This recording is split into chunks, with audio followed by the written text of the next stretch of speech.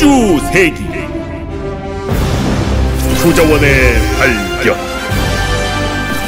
뛰어드는 대기업들 군주 아기 뭐? 저항하는 외계의 생물들 이를 해결하기 위한 해결사의 등장 바로 당신. 정신용병이 된 당신은 지금부터 미지의 행성을 점령. 대학 인자원을 탈환한다. 대충을 방면한다.